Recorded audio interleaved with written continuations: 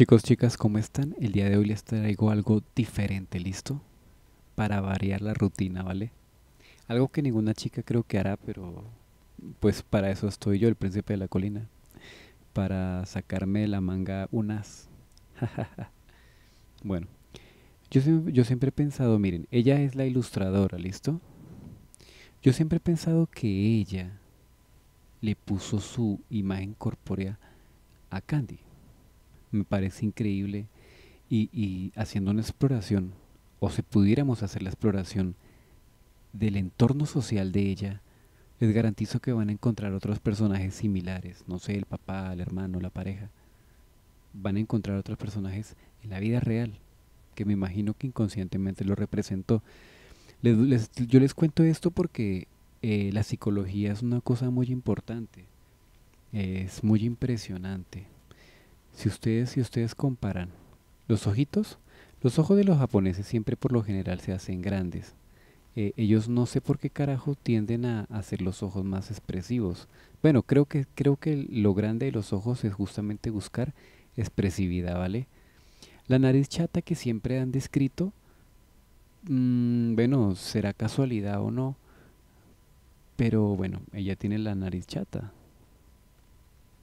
de cierto sentido tiene una sonrisa grande, el peinado que ella se hace, yo no sé si habría que mirar si de pronto la historia describe a los personajes como son o simplemente la ilustradora lo pactó con, con ella y bueno, le trajo a este personaje con estas características faciales.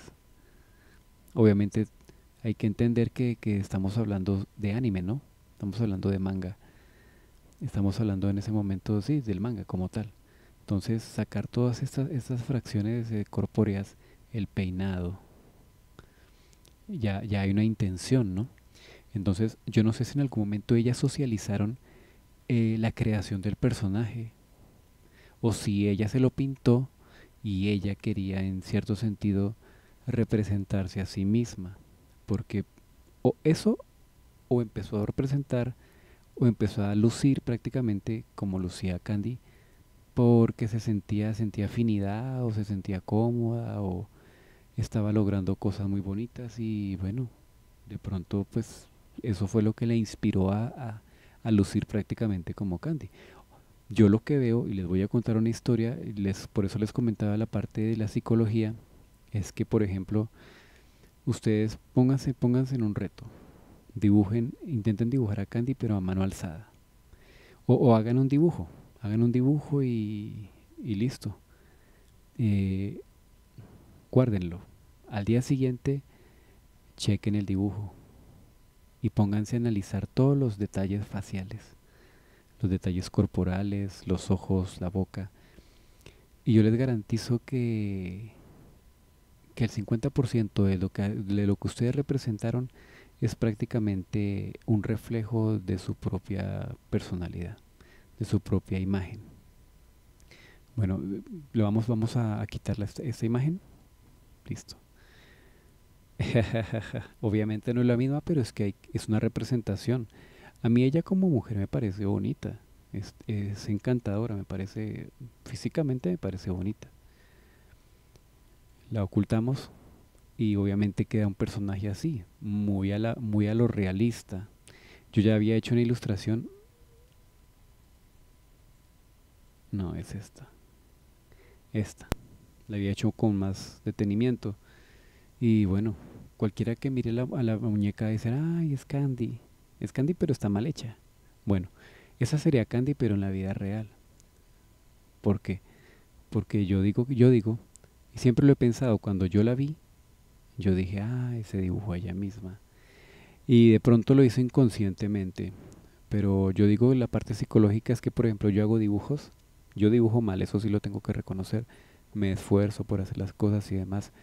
Pero cuando yo dibujo algo, siempre tienden a parecerse de cierta manera a mí en ciertos sentidos. Y no es, no es egocentrismo, sino que es la mente que a veces por eso uno tiene que pulirse mucho en el dibujo para tratar de perfeccionar eh, eh, esos rasgos para que no se hagan Los hombres por lo general tienden a ser los, los rasgos femeninos más, más gruesos, más fuertes. Las mujeres al dibujar son un poquito más sutiles. Y para quienes crean o no, sí hay algo de verdad en eso. Entonces es increíble que yo la primera vez que, supe que ella era la ilustradora, yo vi a Candy. Y, esta no es la única foto que tiene ella. Vamos a, poner las referencias aquí arriba. Mm, la nariz. El mentón de Candy. Los ojos tenían que ser tipo anime. El cabello, la forma del cabello.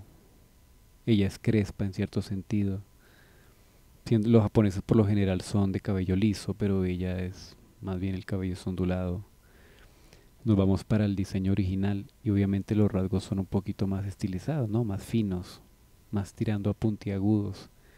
Pero igual hay que destacar que son unas caricaturas. Los ojos son grandes y expresivos. Todo lo que quiere ver una niña en una caricatura es eso, la expresividad. Por eso las muñequitas, las muñequitas con los ojos grandes son interesantes.